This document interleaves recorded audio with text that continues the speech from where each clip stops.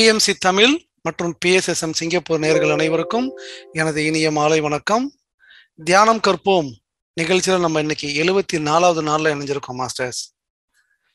பதஞ்சலி மகரிஷியோட யோக சூத்ராஸ் அப்படிங்கிற தலைப்பை ஒட்டி தான் நம்ம நேத்துலேருந்து பார்த்துட்டு வந்துட்டு இருக்கோம் ஸோ இது வரைக்கும் நம்ம என்ன பார்த்துருக்கோம் அப்படிங்கிறத ஒரு சிறிய தொகுப்பாக பார்த்துட்டு இன்னைக்கான டாபிக் உள்ள போகலாம் மாஸ்டர்ஸ். யோகா அப்படின்னா என்னன்னா யூனியன் அப்படின்னு ஆங்கிலத்தில் சொல்லலாம். தமிழில் வந்து சங்கமம் இல்லைனா ஒத்திசையா இருத்தல் இல்லைனா ஒருங்கிணைத்து இருத்தல் அப்படின்னு கூட நம்ம சொல்லலாம்.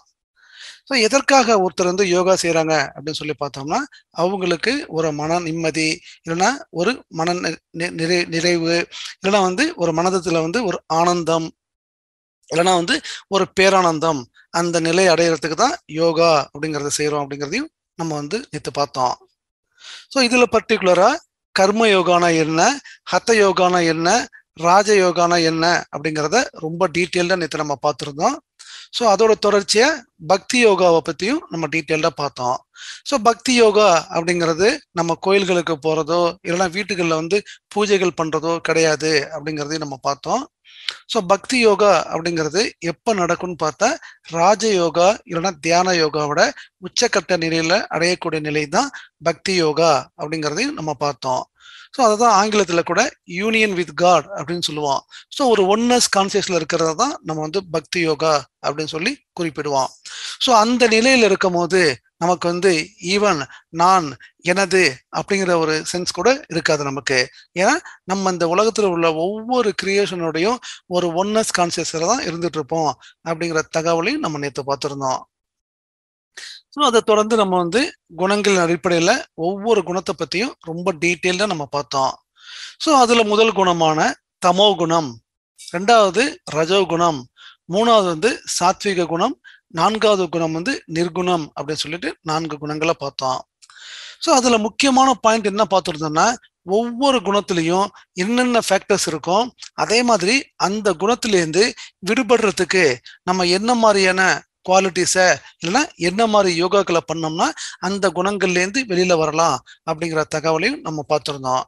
ஸோ ஒரு உதாரணத்துக்கு யாரெல்லாம் தமோ குணத்துல ரொம்ப நாள் இல்லைன்னா வந்து ரொம்ப பிறவிகள் அவங்க வந்து சிக்கியிருக்காங்களோ அவங்க வந்து கர்ம யோகா பண்ணும் போதும் ஹத்த யோகா ப்ராக்டிஸ் பண்ணும் போதும் அவங்களால அந்த தமோ குணத்திலேருந்து அடுத்த நிலையான ரஜோ குணத்துக்கு போக முடியும் அப்படிங்கிற தகவலையும் நம்ம வந்து பார்த்துருந்தோம் மாஸ்டர்ஸ் ஸோ இந்த மாதிரி கர்ம யோகா மற்றும் ஹத்த யோகா பண்ணும்போது அவங்களுக்கு ஒரு பாடியில் வந்து ஒரு நல்ல ஒரு ஷேப் கிடைக்கிறது மட்டும் இல்லாமல் அவங்களுக்கு வந்து ஒரு சுறுசுறுப்பு தன்மையை கொடுக்கறது மட்டும் இல்லாமல் அவங்களோட இம்யூன் பவரும் வந்து பூஸ்டப் ஆகும். அப்படிங்கிற தகவலையும் நேற்று தமோ குணம் தொடர்பாக நம்ம பார்த்துருந்தோம். ரெண்டாவது குணமான ரஜோ குணத்துல யாரெல்லாம் ரொம்ப ஸ்டெக்கப் ஆயிருக்காங்களோ இல்லைன்னா வந்து பல பிறவைகள் அங்கேயே இருக்காங்களோ அவங்களுக்கு வந்து ராஜ யோகா இல்லைன்னா தியான யோகா பண்ணும்போது அந்த ராஜ அந்த ரஜோ குணத்திலேருந்து அடுத்த குணமான சாத்விக குணத்துக்கு எளிவாட்டாவாங்க அப்படிங்கிற தகவலையும் நம்ம பார்த்துருந்தோம். அதே மாதிரி சாத்விக குணம் அதுல யாரெல்லாம் வந்து ரொம்ப பிறவிகள் வந்து ஸ்டக் ஆகிருக்காங்களோ அடுத்த நிலைக்கு போறதுக்கு அவங்களுக்கு ஞான யோகா அப்படிங்கிறது ஹெல்ப் பண்ணும் அப்படிங்கிற தகவல் தகவலையும் நம்ம பார்த்துருந்தோம் மாஸ்டர்ஸ் ஸோ இதுக்கப்புறம் அடுத்த நிலை என்னன்னு சொல்லி பார்த்தோம்னா நிர்குணா அப்படின்னு சொல்லுவோம் நிர்குணா அப்படிங்கிறது ஒரு குணமற்ற நிலையை தான் நம்ம வந்து நிர்குணா அப்படின்னு சொல்லி நம்ம சொல்றோம். ஸோ அதற்கு எதெல்லாம் ஹெல்ப் பண்ணுது அப்படின்னு சொல்லி பார்த்தோம்னா கர்ம யோகா ஹத்த யோகா ராஜ யோகா ஞான யோகா. ஸோ யாரெல்லாம் இந்த யோகாக்கள்லாம் செய்கிறாங்களோ அவங்க ஒவ்வொரு நிலைகளாக தாண்டி அதாவது ஒரு தமோ குணம் ஒரு ரஜோகுணம் ஒரு சாத்விக குணத்திலேருந்து அடுத்த நிலையான நிர்குணா ஸ்டேட்டுக்கு அடைவாங்க அப்படிங்கிற தகவலையும் நம்ம பார்த்துருந்தோம். ஸோ இப்போ அடுத்த கேள்வி என்னென்னா எதற்காக நம்ம வந்து ராஜ யோகா பண்ணணும்? இல்லைன்னா வந்து தியான யோகா பண்ணணும்? அப்படி சொல்லி பார்த்தா நம்மளுடைய சக மனிதர்களோட சக மனிதர்களோடையும் அதுக்கப்புறம் நம்மளுடைய சக ஜீவராசிகளோடையும் ஒரு ஃப்ரெண்ட்ஷிப்போடு இருக்கிறதுக்கு அந்த ராஜ யோகா அப்படிங்கிறத ஹெல்ப் பண்ணும் அப்படிங்கிறத ஒரு முதல் தகவலாகவும். ரெண்டாவது வந்து நம்மளுடைய உணர்வு எண்ணம் சொல் செயல். அதுல வந்து ஒரு செல்ஃப் மாஸ்டரி செல்ஃப் மாஸ்டரிங்கிறது வேற ஒன்றும் கிடையாது. நம்ம அதன் மேல ஒரு புரிந்துணர்வோடையும் நம்மளுடைய விழிப்புணர்வோடையும் இருக்கிறது தான் நம்ம வந்து செல்ஃப் மாஸ்டரி அப்படின்னு சொல்லுவோம். ஸோ அதற்காகவும் நம்ம வந்து ராஜ யோகா இல்லை தியான யோகா பண்ணுறோம் அப்படிங்கிற தகவலையும் நம்ம பார்த்தோம். ஸோ அல்டிமேட்டா அந்த ராஜயோகா இல்லைன்னா தியான யோகா எதிர் நோக்கி போகும் அப்படின்னு சொல்லி பார்த்தோம்னா ஒரு காட் ரியலைசேஷன் பாத்துக்கு கொண்டு போகும் அப்படிங்கிறதையும் நம்ம பார்த்துருந்தோம் மாஸ்டர்ஸ் அதுக்கப்புறமா இந்த ராஜயோகா அப்படிங்கிறத யார் நமக்கு வந்து கொடுத்துருக்காங்கன்னு சொல்லி பார்த்தா பதஞ்சலி மகரிஷி தான் கொடுத்துருக்காங்க அப்படிங்கிற தகவலையும் நம்ம பார்த்தோம். ஸோ இதுல முக்கியமான தகவல் என்னன்னு சொல்லி பார்த்தோம்னா இன்றைக்கும் அந்த பதஞ்சலியோட அந்த எட்டு யோக சூத்ராஸை வந்து நம்ம பார்க்கும் போது எந்த சீக்வன்ஸ்ல இருக்குன்னு சொல்லி பார்த்தோம்னா யாமாஸ் நியமாஸ் அதுக்கப்புறம் ஆசனா பிராணாயாமா பிரத்யாகாரா தாரணா தியானா சமாதின்னு சொல்லிட்டு இந்த சீக்வன்ஸ்ல தான் வெப்சைட்டா இருக்கட்டும் இல்லைன்னா அவங்களோட புக்லையும் கொடுத்துருக்கோம். ஆனா மகரிஷி அப்படிதான் கொடுத்திருந்தாரா? அப்படின்னு சொல்லி பார்த்தோம்னா ஒவ்வொரு மகான்களும் இல்லைன்னா ஒவ்வொரு குருமார்களும் அவங்க இருக்கிற வரைக்கும் அவங்களோட வாழ்க்கையில வாழ்ந்துட்டு இருக்க காலம் வரைக்கும் அவங்களோட அண்டர்ஸ்டாண்டிங்கும் சரி அவங்களோட டீச்சிங்ஸ் அப்படிங்கிறது கரெக்டாக கொடுத்துருப்பாங்க. ஆனா அவங்க அந்த பாடியை வெக்கேட் பண்ணதுக்கு அப்புறம் அவங்களோட ஃபாலோவர்ஸா இருக்கட்டும் இல்லைன்னா வந்து அவங்களோட சீடர்களா இருக்கட்டும் அவங்களோட வசதிக்கு படியும் இல்லைன்னா வந்து அவங்களுடைய அண்டர்ஸ்டாண்டிங் படியும் வந்து மாற்றிடுவாங்க ஸோ அப்படி வந்து உருவாக்கப்பட்டதுதான் இந்த யாமாசும் நியமாசும் ஒன் அண்ட் டூ சீக்வன்ஸ்ல இருக்கிறது. ஸோ இதுல என்னன்னு சொல்லி பார்த்தோம்னா யாரெல்லாம் அந்த யாமாஸ் அப்புறம் நியமாஸ்ல வந்து ஒரு பெர்ஃபெக்ட் கண்ட்ரோல் இருக்கோ அதாவது அவங்களுடைய வாழ்க்கையில ஒரு நெறிமுறையோட வாழ்ந்துட்டு இருக்காங்களோ அவங்களுக்கு வந்து மெடிடேஷன் அப்படிங்கிறது தேவையில்லை அப்படிங்கறதான் நிதர்சனமான உண்மை. ஸோ அப்போ எப்படி இருக்கணும் இந்த சீக்வன்ஸ் அப்படின்னு சொல்லி பார்த்தோம்னா நம்மளுடைய முதல் சீக்வன்ஸ் என்னன்னு சொல்லி பார்த்தா ஃபர்ஸ்ட் வந்து ஆசனா ரெண்டாவது வந்து பிராணாயாமா மூணாவது வந்து பிரத்யாகாரா நாலாவது வந்து தாரணா ஐந்தாவது தியானா ஆறாவது சமாதி ஏழாவது யாமாஸ் அண்ட் நியமாஸ்ன்னு சொல்லி முடியணும்.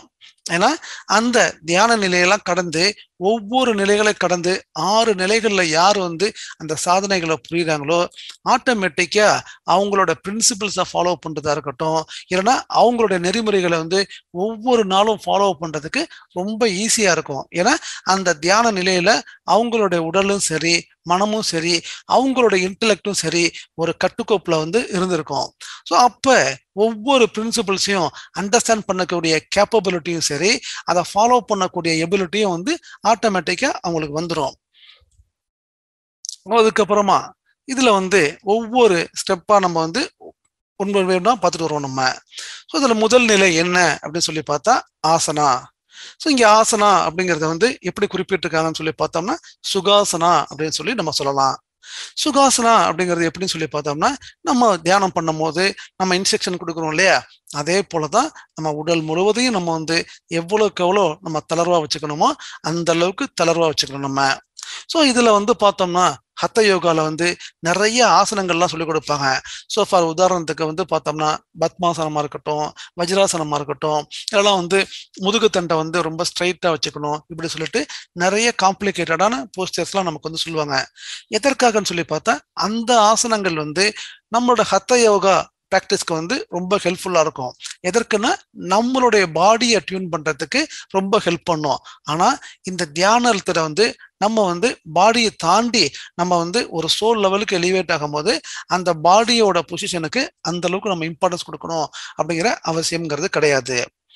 ரெண்டாவது என்னன்னு சொல்லி பார்த்தோம்னா பாடியை வந்து ஒரு ஸ்டிஃபாக வச்சு உட்கார்றதோ இல்லைன்னா ஒரு ஆசனங்களில் உட்காரும் போதோ நமக்கு வந்து ஒரு சில நே நேரங்களுக்கு தவிர ஃபார் எக்ஸாம்பிள் ஒரு இருபது நிமிஷமோ ஒரு முப்பது நிமிஷமோ அதை தாண்டி நம்ம வந்து ஒரு ஒரு மணி நேரம் ரெண்டு மணி நேரம் இந்த மாதிரிலாம் பண்ணும் போது உடல்ல வந்து வலி எடுக்க ஆரம்பிச்சிடும் ஸோ அந்த வலியோட நம்மளால உட்காந்து தியானம் பண்ண முடியுமான்னு சொல்லி பார்த்தோம்னா எப்போ நமக்கு வந்து அந்த உடல்ல வந்து ஒரு அன்கம்ஃபர்டபுள் வருதோ ஆட்டோமேட்டிக்கா உடல்ல வந்து பெயின் வர ஆரம்பிச்சிருச்சுன்னா நம்மளோட கவனம் முழுவதுமே பார்த்தோம்னா உடலை நோக்கி தான் இருக்குமே வழிய அந்த அவேர்னஸ் அப்படிங்கிறது ஒரு பாடி லெவலில் தாண்டத்துக்கே நம்ம வந்து சிரமப்படுவோம் நம்ம.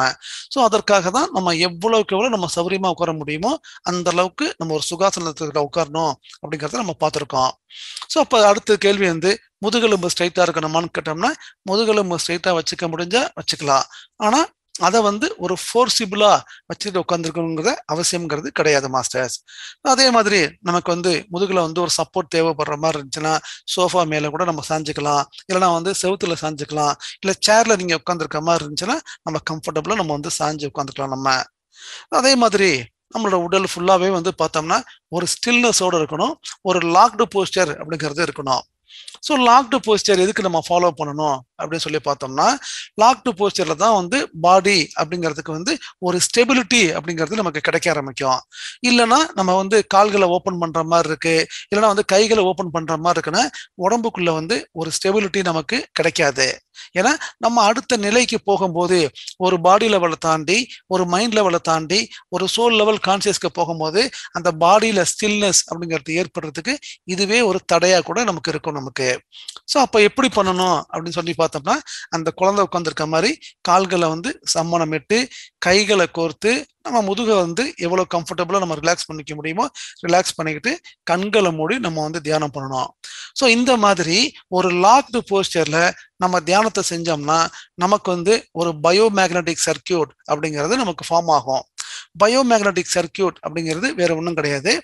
ஒரு எண்ணமற்ற நிலைக்கு போகும்போது நமக்குள்ள கிடைக்கக்கூடிய அந்த விஸ்வ சக்தியானது நமக்குள்ளேயே வந்து செல்ஃப் கண்டெய்ண்டா இருக்கும் நமக்கு. அதாவது நமக்கு கிடைக்கக்கூடிய எனர்ஜிஸ் வந்து நம்மளுடைய எத்திரிக் பாடியில ஸ்டோர் ஆகி அதுல மட்டுமே கண்டெய்ண்டா இருக்கிறதுக்காக தான் இந்த பாடியை வந்து ஒரு பயோமேக்னட்டிக் சர்க்கியூட் மாதிரியும் ஒரு லாக்டு போஸ்டர்லயும் நம்ம உட்கார்றதுக்கான முக்கியமான காரணம் மாஸ்டர்ஸ் அதே மாதிரி வந்து பார்த்தோம்னா ஏன் நம்ம வந்து ஒரு சுகாசனத்தில் உட்காரணும் அப்படின்னு சொல்லி பார்த்தோம்னா உடல் முழுவதும் நமக்கு வந்து எவ்வளோக்கு எவ்வளோ தளர்வாக இருக்கோ அப்போ மட்டும்தான் அந்த பாடியில் வந்து ஒரு டென்ஷன் இல்லாமல் ஒரு ஸ்ட்ரெஸ் இல்லாமல் எந்த விதமான பெயினும் இல்லாமல் அடுத்த லெவல் நமக்கு வந்து மைண்ட் லெவல் அவேர்னஸ்க்கு நம்மளால் வந்து கொண்டு போக முடியும். ஸோ அதுக்கப்புறம் இதிலேயே கொஞ்சம் கொஞ்சமா நமக்கு வந்து உட்காந்து பழக பழக பழக என்ன ஆகும்னு சொல்லி பார்த்தோம்னா அந்த முதல் நிலையை நம்ம வந்து சக்சஸ்ஃபுல்லா வந்து கடக்க முடியும். எல்லாருக்கும் ஒரு டவுட் வரும். ஸோ இந்த ஸ்டேஜ்ல நமக்கு வந்து மெடிடேஷன் அப்படிங்கிறது சாத்தியமாகுமான்னு சொல்லி பார்த்தோம்னா இதுல வந்து ஒன்லி நம்மளோட பாடி போஸ்டரை அட்ஜஸ்ட் பண்ணி மணிக்கணக்கில் நம்ம உட்காந்து ப்ராக்டிஸ் பண்ணும் போது மட்டும்தான் அந்த உடல் அப்படிங்கிறது நமக்கு தியானத்துக்காக சூட்டபுளா வர ஆரம்பிக்கும். இதுதான் முதல் நிலையான ஆசனா அதுதான் சுகாசனா அப்படின்னு சொல்லி நம்ம சொல்றோம் நம்ம. ஸோ யாரெல்லாம் ஒரு வெற்றிகரமா ஒரு ரெண்டு மணி நேரம் இல்லை மூணு மணி நேரம் இல்லை நாலு மணி நேரம் தொடர்ந்து நம்ம அந்த போஸ்டர்ல உட்காந்து உட்காந்து உட்காந்து உட்காந்து அந்த உடலை வந்து ஒரு பக்குவ நிலைக்கு கொண்டு வர்றாங்களோ அவங்கள தான் நம்ம வந்து ஆசன விஜயா அப்படின்னு சொல்லுவோம் விஜயான வெற்றி அப்படின்னு சொல்லுவோம் நம்ம. இந்த பர்டிகுலர் பொசிஷன் இல்ல இந்த முதல் நிலை ஆசனா அதுல வந்து விஜயா அப்படின்னு சொல்லி நம்ம சொல்றோம். அதாவது இந்த ஆசன நிலையில ஒரு வெற்றியை வந்து அடைஞ்சிட்டாங்கன்னு சொல்லி நம்ம குறிப்பிடலாம் மாஸ்டர்ஸ் ஸோ இதுதான் வந்து முதல் நிலை ஆசனா சுகாசனா அப்படின்னு சொல்லுவோம் நம்ம. ஸோ அடுத்த நிலைக்கு நம்ம போகலாம் அடுத்த நிலை என்ன? இல்லைன்னா வந்து அடுத்த ஸ்டேஜ் என்ன? அடுத்த ஸ்டெப் என்ன? அப்படின்னு சொல்லி பார்த்தோம்னா பிராணாயாமா அப்படிங்கிறதான் இந்த பிராணாயமாவும் எப்படிப்பட்ட பிராணாயமா அப்படின்னு சொல்லி பார்த்தோம்னா சுக பிராணாயமா அப்படின்னு சொல்லுவோம் நம்ம. ஸோ இங்க எல்லாத்துலயுமே பார்த்தோம்னா சுகாசனா அதுக்கப்புறம் சுக பிராணாயமான்னு சொல்லிட்டு எல்லாமே சுகமான இயற்கையான வழிகளை தான் நம்ம வந்து பின்பற்ற போறோம் நம்ம. ஸோ இந்த பிராணாயமால கூட வந்து பார்த்தோம்னா நமக்கு வந்து ஒரு கும்பக பிராணாயமா மாதிரி மூச்சை உள்ள இழுக்கிறது நம்ம பார்த்துருக்கோம் நம்ம. ஒரு நாடி சுத்தி போல ஒரு பயிற்சிகள் எல்லாம் நம்ம பார்த்துருப்போம். ஸோ மூச்சை வந்து நம்ம உள்ள இழுப்போம். நாலு கவுண்ட்டுக்கு உள்ள இருப்போம். பதினாறு கவுண்ட்டுக்கு சில பேர் ஹோல்ட் பண்ணுவாங்க. அதுக்கப்புறம் வந்து எட்டு கவுண்ட்டுக்கு வந்து வெளியில ரிலீஸ் பண்ணுவாங்க. ஸோ இதெல்லாம் வந்து பார்த்தோம்னா கும்பக பிராணாயம டெக்னிக் ஆனா நம்ம பண்ணக்கூடிய தியான முறை இல்லைன்னா வந்து பதஞ்சலி மகரிஷி சொல்லி கொடுத்த வழிமுறைகள் என்ன அப்படின்னு சொல்லி பார்த்தோம்னா சுக பிராணாயமா அதை தான் நம்ம வந்து இங்கே நம்மளோட தியான முறையிலையும் ஃபாலோ பண்ணிட்டு இருக்கோம். சுக பிராணாயமா அப்படிங்கிறது வந்து நமக்குள்ள நடக்கக்கூடிய இயல்பான நேச்சுரலான ஒரு ப்ராசஸ் மட்டும்தான் மாஸ்டர்ஸ் ஸோ இங்கே என்னென்ன வழிமுறைகள் அப்படின்னு சொல்லி பார்த்தோம்னா நம்ம வந்து எந்த விதமான மந்திரங்களோ ஜபங்களோ இல்லை பிரார்த்தனைகளோ எதுவுமே நம்ம வந்து பண்ண போகிறது கிடையாது. ரெண்டாவது வந்து ஏதாவது ஒரு சாண்டிங் பண்றதோ இல்லைன்னா வந்து காட்சிப்படுத்துதல். ஒரு சில தியான முறைகளில் வந்து புருவ மத்தியில உங்களுக்கு பிடிச்ச மகான்களையோ இல்லைன்னா வந்து இஷ்ட தெய்வங்களையோ வந்து காட்சிப்படுத்துதல் அப்படிங்கிறத சொல்லி கொடுப்பாங்க. ஸோ அதுவும் நம்ம வந்து பண்ணக்கூடாது. அதே மாதிரி எந்த விதமான மேனிப்புலேஷனும் வந்து நம்ம பண்ணக்கூடாது. மேனிப்புலேஷனுங்கிறத தான் நம்ம பார்த்தோம். நம்ம ஒரு கும்பக பிராணாயமா மாதிரி நம்ம காற்றை வந்து ஃபோர்ஸ் பண்ணியோ இல்லை வந்து கவுண்ட் பண்ணியோ எந்த விதமான மேனிப்புலேஷன் அப்படிங்கிறதும் இருக்கக்கூடாது. ஸோ எதற்காக வந்து மந்திரங்கள் சொல்லக்கூடாது ஜபங்கள் சொல்லக்கூடாது இல்லை எந்த விதமான சாண்டிங் பண்ணக்கூடாது எந்த விதமான விஷுவலைசேஷன் பண்ணக்கூடாதுன்னு சொல்லி பார்த்தோம்னா இந்த நிலையில தான் நம்ம அடுத்த நிலையான மைண்டை வந்து எம்டி பண்ணுறதுக்காக ரெடி ஆகிட்டு இருக்கோம். ஸோ ஃபர்ஸ்ட் ஸ்டேஜில் வந்து நம்ம பாடியை வந்து ரெடி பண்ணுறோம் ரெண்டாவது நிலையில வந்து நம்மளோட மைண்டை வந்து ரெடி பண்ணுறோம் நம்ம. மைண்டை நம்ம எப்படி ரெடி பண்ணலாம்? அப்படின்னு சொல்லி பார்த்தோம்னா நம்ம இந்த ப்ராக்டிஸை பண்ணி பண்ணி நமக்குள்ள நடக்கக்கூடிய இயல்பான சுவாசத்தை மட்டுமே நம்ம கவனிச்சுட்டு வந்துட்டு இருந்தாலே ஆட்டோமேட்டிக்காக அந்த பாடி லெவல் அவேர்னஸை தாண்டி அந்த மைண்ட் லெவல் அவேர்னஸை தாண்டி நம்மளால் அடுத்த நிலைக்கு நம்மளால் போக முடியும். எப்போ நம்ம அந்த அடுத்த நிலைக்கு நம்ம ரெடி ஆகிறோமோ ஆட்டோமேட்டிக்காக மனம் அப்படிங்கிறது ஒரு எண்ணமற்ற நிலைக்கு வந்து ஆகிரும் மாஸ்டர்ஸ் அதுக்கப்புறமா இன்னும் சில ஸ்டேஜுக்கு வந்து போகணும்னா இதுலயே ப்ராக்டிஸ் பண்ண ப்ராக்டிஸ் பண்ண ப்ராக்டிஸ் பண்ணா அப்படின்னு சொல்லி பார்த்தோம்னா நம்ம இனிஷியலா நம்ம வந்து சுவாசத்தை கவனிக்கும் போது நம்மளோட மூக்கு நுனிலேருந்து ஆரம்பிச்சு அந்த சுவாசம் வந்து எவ்வளவுக்கு எவ்வளவு உள்ளுக்குள்ள போகுதோ அதை நம்மளால வந்து ஃபீல் பண்ண முடியும். ஸோ இதே இது இந்த பிராணாயமா இந்த செகண்ட் ஸ்டேஜை வந்து சின்சியரா பண்ண பண்ண என்ன நடக்கும்னு சொல்லி பார்த்தோம்னா அந்த மூச்சு அப்படிங்கிறது கூட ரொம்ப மெல்லியதாக ஆயிட்டே வரும் உங்களுக்கு. ஸோ ஒரு சில காலகட்டத்தில் பார்த்தோம்னா ஒரு சில பேருக்கு வந்து டவுட்டு கூட வரும். ஸோ நம்ம மூச்சு விடுறோமா இல்லையா அப்படிங்கிற டவுட்டு கூட சில பேருக்கு வரும் உங்களுக்கு. ஸோ அந்த அளவுக்கு மூச்சு அப்படிங்கிறது ரொம்ப மெல்லியதாயிரும் மாஸ்டர்ஸ் இதில். ரொம்ப முக்கியமான பாயிண்ட் இதுல என்னன்னு சொல்லி பார்த்தோம்னா சாதாரணமா ஒரு மெடிடேஷன் பார்த்துக்கு வராதவங்கள்ட்ட இல்லைன்னா ஒரு அலோபதி டாக்டர்ஸ்ட கேட்டோம்னா மூச்சு காத்துல என்ன இருக்குன்னு சொல்லி பார்த்தோம்னா இத்தனை பெர்சன்டேஜ் ஆக்சிஜன் மட்டும்தான் இருக்கு அப்படின்னு சொல்லி சொல்லுவாங்க. ஆனா அந்த சுவாசத்துல அதோட அவுட்டர் லேயர் அப்படின்னு சொல்லக்கூடிய வெளிப்புறமா இருக்கக்கூடிய லேயர்ல வந்து பிராண எனர்ஜி அப்படின்னு சொல்லி இருக்கு.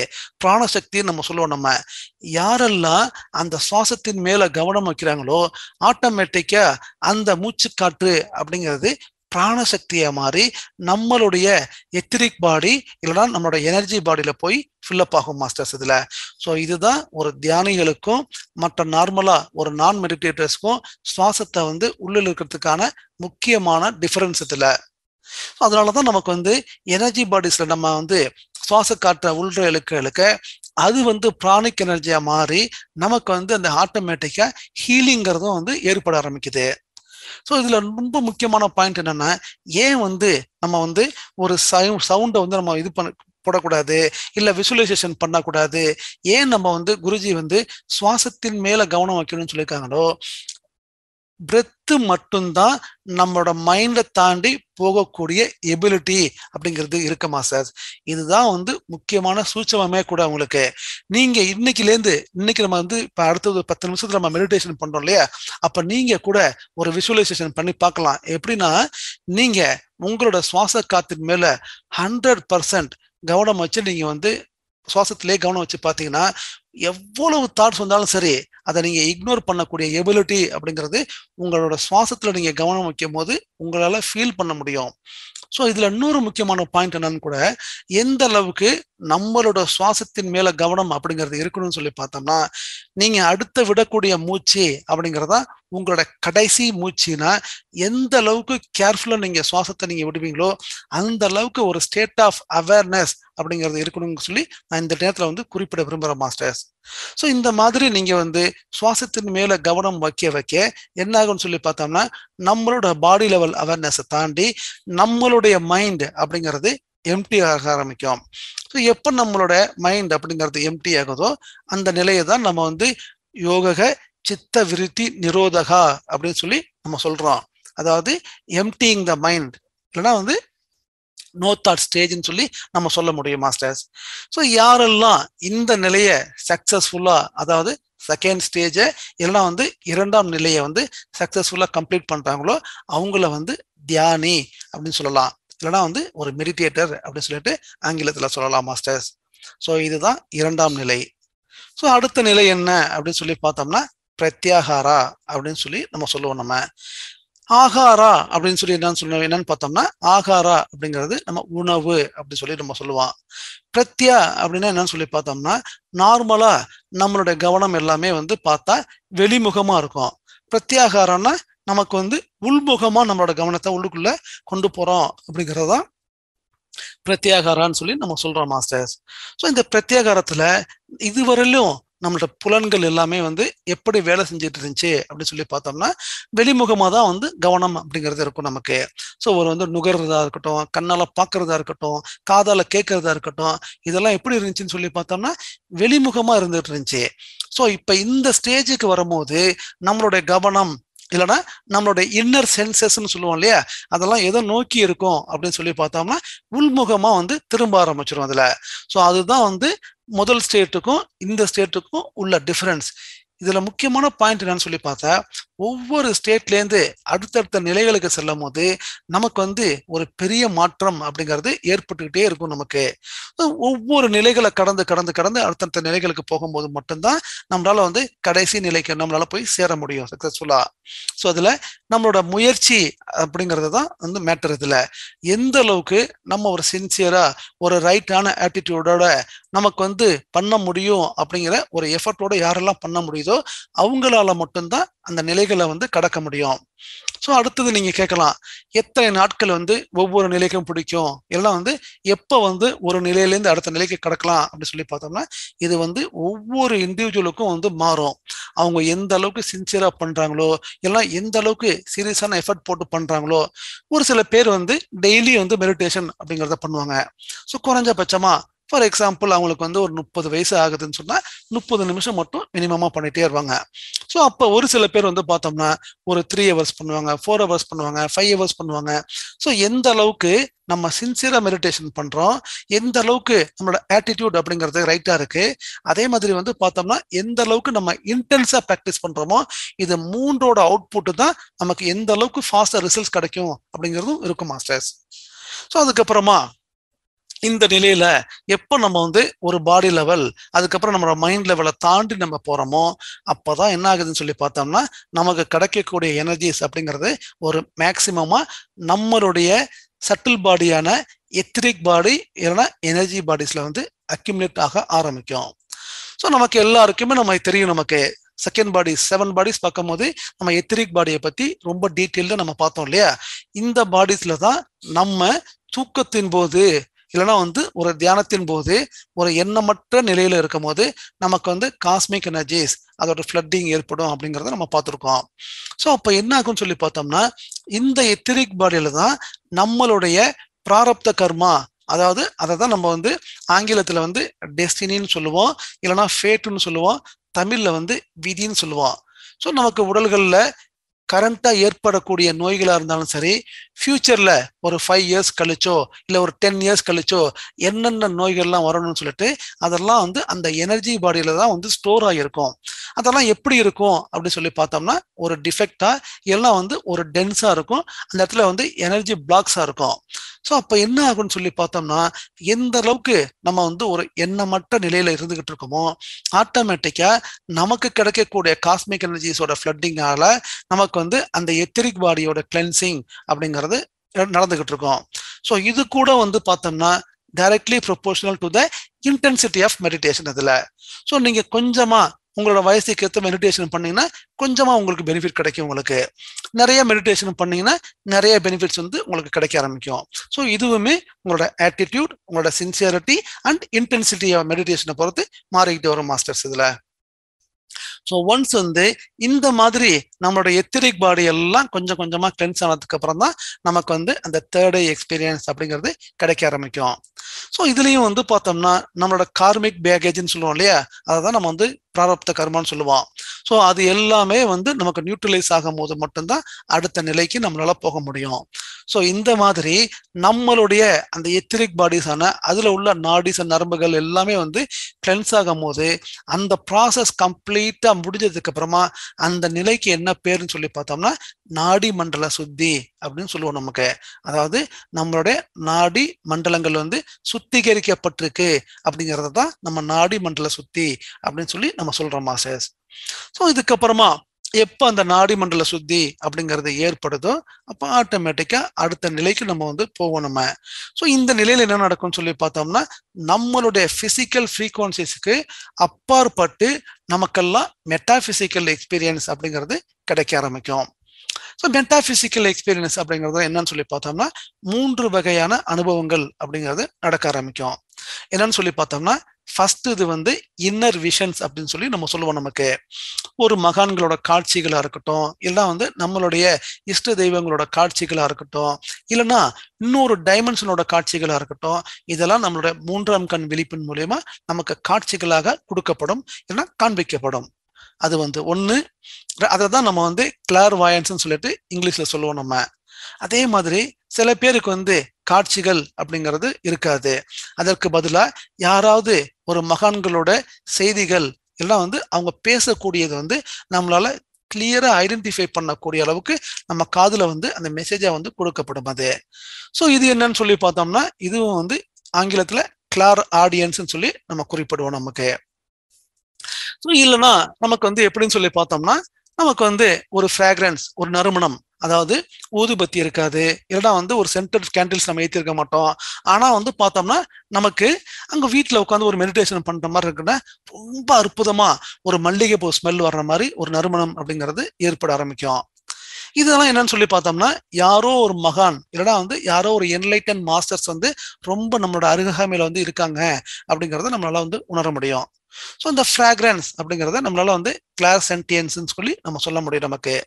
ஸோ இந்த மூன்றுமே நமக்கு விஷன்ஸா கிடைக்கிறதும் சரி நமக்கு வந்து ஹியரிங்கா கிடைக்கிறதும் சரி நமக்கு வந்து அந்த நுகர்வதன் மூலியமா கிடைக்கக்கூடிய அனுபவம் இது எல்லாமே வந்து பார்த்தோம்னா தேர்ட் ஐ எக்ஸ்பீரியன்ஸ் மூன்றாம் கண் அனுபவம் அப்படின்னு சொல்லி நம்ம குறிப்பிடலாம் மாஸ்டர்ஸ் ஸோ இதுல வந்து என்னோட அனுபவத்தை வந்து உன்னேன்னு மட்டும் நான் சொல்றேன் நான். எனக்கு வந்து அந்த மாதிரி வந்து தேர்ட் ஐ விஷன்ஸோ இல்லைனா வந்து ஹியரிங்கோ எதுவுமே வந்து நடந்தது கிடையாது. பட் ஆனால் நான் அந்த ஏப்ரல் மாதம் வந்து நான் இந்தியாவுக்கு வந்து அந்த டைம்ல பார்த்தோம்னா எனக்கு வந்து வாணியம்பாடிக்கு போகிறதுக்கான ஒரு வாய்ப்பு அப்படிங்கிறது எனக்கு கிடைக்க ஆரம்பிச்சது. ஸோ அப்போ வந்து மெர்கபா பமி பிரமிட் வந்து அப்போதான் வந்து கட்டி முடிக்கக்கூடிய ஸ்டேஜ் அதில். இன்னும் வந்து கட்டி முடிக்கல. அந்த டைம்ல ஜஸ்ட் வந்து அங்கே போகிறதுக்கான வாய்ப்பு கிடைச்சப்ப அவங்க மாஸ்டர்ஸ் எல்லாமே சொன்னாங்க ஒரு ஃபிஃப்டீன் மினிட்ஸ் மட்டும் நம்ம வந்து மெடிடேஷன் பண்ணலாமா? அப்படின்னு சொல்லிட்டு என்கிட்ட கேட்டிருந்தாங்க. நானும் ரொம்ப சந்தோஷமா அது ஒரு பெரிய வாய்ப்பு இல்லையா? சரி நம்ம பண்ணுவோம்னு சொல்லிட்டு எல்லாருமே மூணு பேருமே சேரை போட்டு அந்த பிரமிடுக்குள்ள மெர்கபா பிரமிடுக்குள்ள மெடிடேஷன் அப்படிங்கிறத பண்ண ஆரம்பிச்சோம். ஸோ அப்போ வந்து பார்த்தோம்னா முதல் மூன்று நிமிஷம் அப்படிங்கறது வந்து பார்த்தா ரொம்ப அற்புதமான சந்தன வாசனை வந்து எனக்கு வந்து கிடைச்சது எனக்கு. ஸோ அதே மாதிரி அந்த மெடிடேஷனை முடிக்கக்கூடிய டைம்ல பன்னிரெண்டாவது நிமிஷத்துலேருந்து பதினஞ்சாவது நிமிஷம் வரைக்கும் பார்த்தோம்னா ஒரு மல்லிகைப்பூ ஸ்மெல் வந்து எனக்கு வந்து கிடைச்சது மாஸ்டர்ஸ் இது. ஸோ இது வந்து எனக்கு வந்து தியானத்தின் மூலயமா அந்த கிளாஸ் சென்டியன்ஸ் அப்படிங்கிறது மூலயமா எனக்கு கிடைத்த அனுபவம் இது. ஸோ அப்போ தான் நான் மாஸ்டர்ஸ் வந்து கிளாரிஃபை பண்ண நான். மெடிடேஷன் பண்ணது முடிச்சதுக்கு அப்புறமா நான் கேட்டேன் நான் உங்களுக்கெல்லாம் ஏதாவது அனுபவம் கிடைச்சதா? இல்லைன்னா வந்து உங்களுக்கு ஏதாவது வாசனைகள் தெரிஞ்சுதா? அப்படின்னு சொல்லி நான் கேட்டேன் நான். ஆனால் எவ்வளோ தூரம்னு பார்த்தோம்னா ஒவ்வொருத்தருமே ஒரு மீட்டர் கேப்பில் தான் நாங்கள் உட்காந்துருக்கோம் ரொம்ப தூரமா கிடையாது. விதின் ஒன் மீட்டர் கேப்பில் தான் மூணு பேருமே உட்காந்துருக்கோம் அதில். அப்போ கேட்டப்ப மற்ற ரெண்டு மாசத்தும் சொன்னாங்க இல்லையே எனக்கு அந்த மாதிரி எதுவும் நறுமணம்ங்கிறது வரலையே அப்படின்னு சொல்லி சொன்னாங்க எனக்கு. அப்பதான் எனக்கு தெரிஞ்சது ஓகே நமக்கு வந்து யாரோ ரெண்டு மகான்கள் வந்து வெவ்வேறு ரூபத்துல வந்து வந்துட்டு போயிருக்காங்க. ஸோ அவங்களோட பிரசன்ஸ் தான் நம்மளால ஒரு நறுமணமா நம்மளால வந்து நுகர முடிஞ்சது அப்படிங்கிற அனுபவம் கூட எனக்கு வந்து ரொம்ப அருமையா கிடைச்சிருந்துச்சு.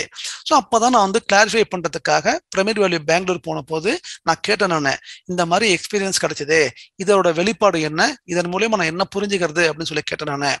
ஸோ அப்பதான் சொன்னாங்க அந்த வாணியம்பாடியில பர்டிகுலராக மெர்காபா பிரமிட் ஏரியாவில் வந்து நிறைய என்லெட்டின் மாஸ்டர்ஸ் அவங்களோட ப்ரெசன்ஸை வந்து கொடுத்துட்டு இருக்காங்க ஸோ அதனுடைய வெளிப்பாடு தான் உங்களுக்கு நறுமணம் கிடைச்சது. ஸோ அப்போ முதல் கிடைத்த அனுபவமும் சரி கடைசி மூன்று நிமிடங்களில் கிடைத்த அனுபவமும் சரி இது எல்லாமே வந்து மூன்றாம் கண் அனுபவம் தான் உங்களுக்கு. ஈவன் தோ டைரக்டா நமக்கு வந்து ஒரு மூன்றாம் கண் விழிப்படைந்து உனக்கு உங்களுக்கு அனுபவமாக கிடைக்கலாம் கூட இது கூட ஒன் ஆஃப் த எக்ஸ்பீரியன்ஸ் தான் அப்படின்னு சொல்றது வந்து எனக்கு கிளாரிஃபை பண்ணாங்க மாஸ்டர்ஸ் இப்போ வந்து பார்த்தோம்னா ஒரு சில பேருக்கு வந்து இந்த காம்பினேஷன் கூட நடக்கும் உங்களுக்கு. ஸோ எப்படின்னு சொல்லி பார்த்தோம்னா என்னோட நண்பர் இங்கே கூட நம்ம வந்து குரூப்ல கூட இப்போ இருக்காப்ல. ஸோ அவருக்கு வந்து காட்சிகளும் கிடைச்சது. அதே சமயத்தில் வந்து பார்த்தோம்னா அவருக்கு அந்த மெசேஜும் கிடைச்சது. அதாவது அவருக்கு இன்னர் விஷன்ஸும் வந்து கொடுக்கப்பட்டுச்சு. அதே மாதிரி பார்த்தோம்னா அவருக்கு வந்து அந்த ஹியரிங்கும் கிடைச்சது. ஸோ அவரோட அனுபவம் என்னங்கிறது கூட நான் வந்து ரொம்ப ஷார்ட்டாக ஒரு நிமிஷத்தை சொல்லி முடிச்சிடும் நம்ம. அவருக்கு வந்து ஒரு காட்சி அப்படிங்கிறது காமிக்கப்படுது. ஸோ அதில் வந்து பார்த்தோம்னா ஒரு கப்பிள்ஸ் வந்து உட்காந்துருக்காங்க எப்படின்னா புதுசாக கல்யாணம் பண்ணி அவங்க வந்து அதாவது ஒரு கிறிஸ்டியானிட்டி ட்ரெஸ்ல எப்படி உட்காருவாங்களோ அதே மாதிரி வந்து அந்த புதுசா திருமணமான பெண்ணும் அந்த ஆண்மகனும் வந்து உட்காந்துருக்காங்க இவர் வந்து ஒயிட் போர்டில் வந்து ஒரு பெண்ணில் எழுதுற மாதிரி இதுதான் வந்து விஷனா வந்து காமிக்கப்பட்டுச்சு. ஸோ இது வந்து இன்னர் விஷன்னு சொல்லலாம் கிளார் வாயன்ஸ்ன்னு சொல்லி நம்ம சொல்லலாம். ஸோ அதுக்கப்புறமா அவரோட காது கிட்ட வந்து யாரோ ஒருத்தர் வந்து பேசுற மாதிரி ரொம்ப அற்புதமா நமக்கெல்லாம் புரியுற மாதிரி ஆங்கிலத்துல சொல்றாங்க. ஸோ இதுதான் உன்னோட பர்பஸ் ஆஃப் லைஃப் அப்படின்னு சொல்லி சொல்றாங்க. என்னன்னு சொல்லி பார்த்தோம்னா கவுன்சிலிங் கொடுக்கணும். எதை பத்தின்னு சொல்லி பார்த்தோம்னா ஸ்பிரிச்சுவல் பேரண்டிங்கை பத்தி டீட்டெயில்டா கவுன்சிலிங் கொடுக்கணும். அதுதான் உன்னோட பர்பஸ் ஆஃப் லைஃப்னு சொல்லிட்டு அதுக்கப்புறமா ஒரு சில நேரம் மெடிடேஷன் முடிஞ்சதுக்கு அப்புறமா அந்த விஷன்ஸும் போயிருது அந்த ஹியரிங்கும் வந்து போயிருது. ஸோ இது கூட வந்து பார்த்தோம்னா ஒரு தேர்ட் எக்ஸ்பீரியன்ஸ் அப்படின்னு சொல்லி சொல்லலாம் அதில். ஸோ நான் எதற்காக அந்த காம்பினேஷனை சொன்னேன்னா எனக்கு கிடைத்தது வந்து அந்த மூணாவதான அந்த கிளார் சென்டியன்ஸ் அப்படிங்கிறதான அனுபவம். இது என்னோட நண்பருக்கு கிடைத்தது வந்து clairvoyance and clairaudience இது இது மல்டிபிள் காம்பினேஷன்ஸ்ல கூட நமக்கு வந்து அமையும். அதாவது சில பேருக்கு வந்து இன்னர் விஷன்ஸும் கிடைக்கும். யார் மகன் வந்திருக்காங்க அப்படிங்கறது வந்து அவங்களால பார்க்க முடியும். அதே மாதிரி அவங்களோட நறுமணத்தை கூட அவங்களால வந்து நுகர முடியும். அதே சமயத்துல அவங்க சொல்லக்கூடிய மெசேஜஸையும் உள்வாங்கிக்கக்கூடிய தன்மையிலையும் இருந்துட்டு இருப்பாங்க. ஸோ இந்த மாதிரி யாருக்கெல்லாம் ஒரு எத்திரிக் பாடி கிளென்ஸ் ஆகி மெட்டாபிசிக்கல் எக்ஸ்பீரியன்ஸ் ஏற்படுதோ அவங்கள தான் நம்ம வந்து யோகி அப்படின்னு சொல்லி நம்ம சொல்லுவோம் நம்ம.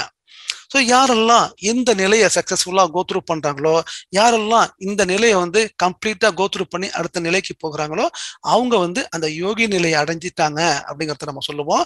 பிரத்யாகாரா அப்படிங்கிற மூணாவது ஸ்டேட்டையும் வந்து தாண்டிட்டாங்கன்னு சொல்லி நம்ம சொல்லுவோம் மாஸ்டர்ஸ் ஸோ நாளைக்கு வந்து நம்ம என்ன பண்ணலாம்னு சொல்லி பார்த்தோம்னா நாளையிலேருந்து அடுத்த நிலையான தாரானாலேருந்து நம்ம ஒவ்வொரு ஸ்டெப்பாக நாளைக்கு ஒரு மூன்று நிலைகளை நம்ம டீட்டெயிலாக பார்ப்போம்.